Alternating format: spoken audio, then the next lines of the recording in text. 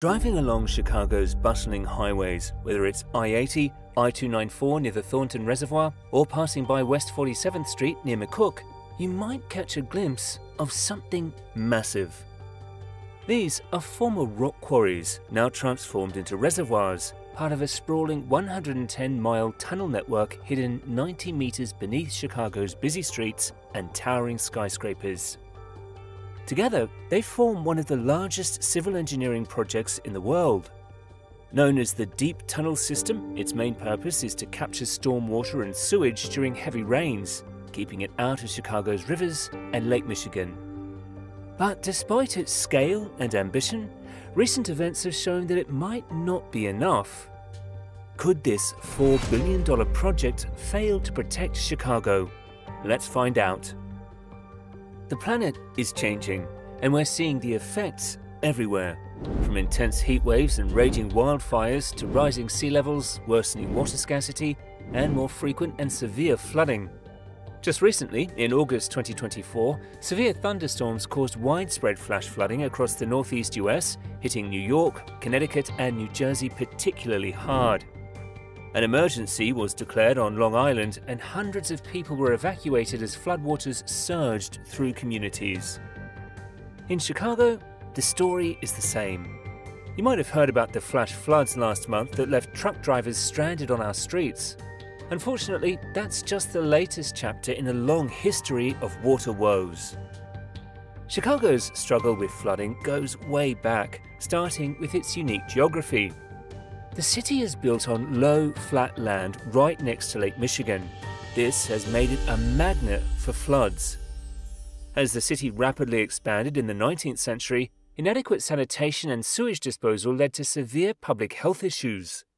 The Chicago River, running through the heart of the city, became a dumping ground for sewage and industrial waste, turning it into a heavily polluted waterway. In response, Chicago undertook some remarkable engineering feats. One of the most audacious was literally raising the city several feet in the late 19th century. Using hydraulic jacks, entire streets, buildings, and even blocks were lifted to improve drainage and sanitation, allowing for the installation of a more effective sewer system. Another groundbreaking solution was the reversal of the Chicago River in 1900. To prevent sewage from contaminating Lake Michigan, the city's drinking water source, engineers undertook the monumental task of reversing the river's flow. This project redirected the river away from the lake and into the Mississippi River system, significantly reducing pollution in Lake Michigan. But as the city grew and the population surged, these solutions were no longer enough. The severe limitations of the existing infrastructure and accelerated the push for a more comprehensive solution. The solution the Deep Tunnel Project, or the Tunnel and Reservoir Plan, TARP. This massive project was designed to capture and store excess stormwater and sewage during heavy rains, preventing these from inundating the city and polluting its waterways. Approved in 1972, the Deep Tunnel Project was ambitious aiming to create a vast underground network to capture and store stormwater and sewage, preventing them from overwhelming the city's existing sewer system and polluting its waterways. Construction of this engineering marvel began in 1975, marking the start of Phase 1, the tunnels. Over the next three decades, workers excavated a 110 mile network of tunnels, ranging from 9 to 33 feet in diameter and positioned between 200 and 350 feet underground. These tunnels were designed to intercept and convey combined sewer overflows, CSOs, during heavy rains, dramatically reducing the frequency of CSOs and improving the water quality in the Chicago River and Lake Michigan. By the time Phase 1 was completed in 2006, it had cost approximately $3.1 billion. But the investment paid off by significantly enhancing the city's ability to manage stormwater and sewage. With the tunnels in place, the next challenge was providing sufficient storage capacity for the captured stormwater and sewage. Phase 2, which began in 1990, focuses on constructing massive reservoirs designed to hold excess water during heavy rainfall. This phase includes several major reservoirs. Majewski Reservoir, completed in 1998 with a capacity of 350 million gallons and cost $44.8 million. McCook Reservoir. Phase 1 was completed in 2017, offering an initial capacity of 3.5 billion gallons, with plans to expand to 10 billion gallons by 2029. Cost $980 million for completed and under construction portions. Thornton Reservoir, completed in 2015 with a capacity of 7.9 billion gallons with cost of $450 million. The total projected cost, including both phases, is estimated to reach approximately $10.4 billion by the time it's fully operational in 2029. Since its completion of the tunnels and some reservoirs in 2006, combined sewer overflows, CSOs, have been cut nearly in half, from an average of 100 days per year to approximately 50 days per year. The Thornton Reservoir has even eliminated them entirely within its service area since 2020. The McCook Reservoir and its tunnels have prevented a staggering 120 billion gallons of polluted water from entering waterways. It's no wonder that the Chicago River, once a notorious open sewer, now teems with over 60 species of fish, a testament to the improved water quality and ecological recovery. Moreover, the project's flood management capabilities have shielded an estimated 1.5 million structures from flooding, addressing the city's long standing drainage issues. While the deep tunnel has undoubtedly made Chicago a cleaner and more resilient city, the question remains is it enough? Unfortunately, no, and the summer of 2023 was a tough reminder of its limitations. On July 2nd, as heavy rains loomed over Chicago and its suburbs, the system seemed ready.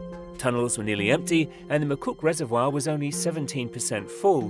But the rain came too fast and too hard. Overflow pipes across the area began releasing a toxic mix of sewage and runoff into the waterways. By afternoon, the system was so overwhelmed that officials had to release over a billion gallons of polluted water into Lake Michigan, the city's drinking water source. Chappelle Wells, a resident of Cicero whose basement filled with waist deep water, voiced the frustration. They've been talking about the deep tunnel, but even when it's finished, it won't be enough. This $4 billion project is struggling to keep up with climate change. The science supports these worries. A 2010 study for former Mayor Richard M. Daley predicted a 50% rise in heavy rain events by 2039. The kind of storms that overwhelm the deep tunnel and lead to sewage dumping into Lake Michigan. By the end of the century, these storms could increase by 160%. The evidence is already there.